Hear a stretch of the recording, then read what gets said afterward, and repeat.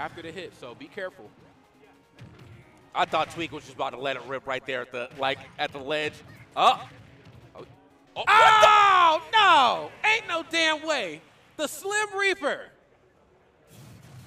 The Slim Reaper is present. Jesus